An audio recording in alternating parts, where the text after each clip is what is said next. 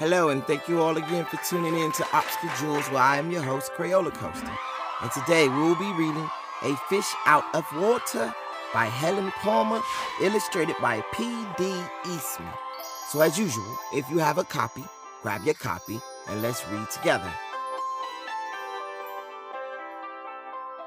This little fish, I said to Mr. Carp, I want him. I like him, and he likes me. I will call him Otto. Very well, said Mr. Carp. Now I will tell you how to feed him. Then Mr. Carp told me, when you feed a fish, never feed him a lot, so much and no more. Never more than a spot, or something may happen. You never know what. Then I took Otto home. I gave him some food. I did not give him much, just one little spot. But this did not make Otto happy. He wanted more food. He had to have more. Poor Otto. He just had to have more. I knew what Mr. Carp had told me.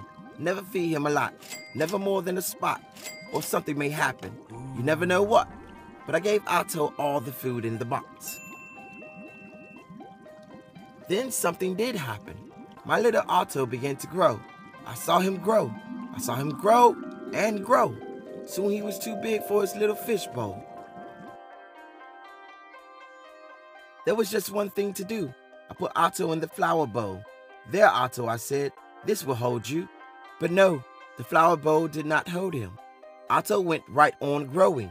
This was not funny, not funny at all. His tail was growing right out of the top. I grabbed the flower bowl. I ran with it. Otto, I said, I know just where to put you. Then you will be all right. Put him in a big pot. But Otto was not all right. I saw him grow some more. Very soon he was too big for the pot. I put him in pot after pot. He was growing so fast. Poor Otto, my poor little fish. Oh, why did I feed him so much? Otto, I said, stop growing, please. But Otto could not stop growing. He was growing all the time. Very soon I ran out of pots. Otto had to have water. There was just one thing to do. I did it. I grabbed him. I grabbed him by the tail. I ran with him up to the tub. The tub is big. It can hold lots of water. At last, there, Otto, I said, this tub holds my father. This tub holds my mother, so it will hold you. But the tub did not hold him at all. He went right on growing. Oh, Otto, I said, what can I do now? Then crash. The door went down. Crash. Otto went down. I went down too. Oh, what a ride. Down went the water into the cellar. And down went Otto too. I had to do something fast. I grabbed the phone. I called the policeman. Help, help, I said. I fed my fish too much. Mr. Carp told me not to, but I did. What, said the policeman? Mr. Carp told you not to, but you did. Too bad. I will come at once. We're sorry, the number you have dialed is not in service at this time. The policeman came. My fish went that way, I said. He is down in the cellar. The policeman ran down with me. What a fish, he said. He is much too big to keep in the cellar. We will have to get him out. We had to work and work to get Otto out. Poor Otto. Oh, why did I feed him too much? Mr. Carp told me something would happen, and it did. It did. Now we had Otto out of the cellar, but now Otto had no water. No water at all. A fish has to have water. I said to the policeman, we must take him to water. Get help. Call for help on the radio. The policeman called on the radio. He called for the fireman. Help, help, he said. A boy has fed a fish too much. He will come at once. The firemen came. They all helped to get Otto up. But where can we take him? I asked. Uptown, downtown. Huh? To the pool, yelled the fireman. To the pool, I yelled. And please hurry.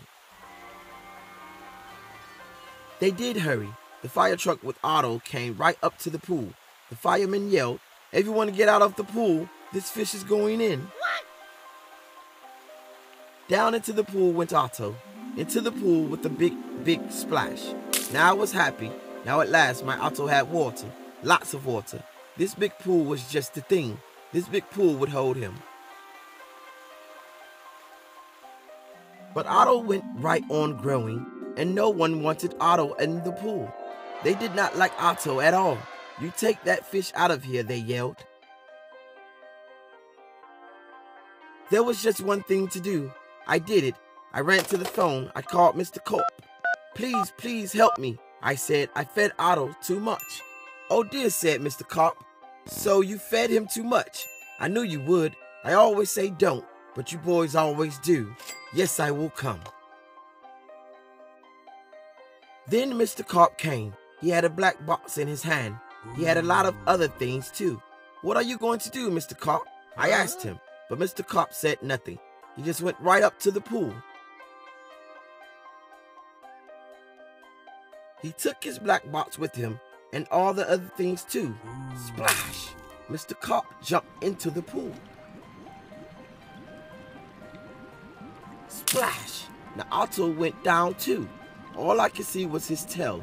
I could not see Mr. Carp at all. What was going on down there? What were they doing down there in the water? Now I can see nothing. Not Otto, not Mr. Carp, nothing at all. Would I see my Otto again? Would I see Mr. Carp again? Mr. Carp, Mr. Carp, I yelled. What are you doing? Are you all right? Then up jumped Mr. Carp. In his hand was a little fish bowl. In the bowl was my Otto. Mr. Carp had made him little again. Don't ask me how I did it, he said, but here is your fish. And from now on, said Mr. Carp, please don't feed him too much. Just so much and no more. Now that is what I always do. Now I feed Otto so much and no more. Never more than a spot or something may happen. And now I know what. The end. And that was A Fish Out of Water by Helen Palmer, illustrated by P.D. Eastman, narrated by your host, Crayola Coaster. And until next time, keep reading. Thank you.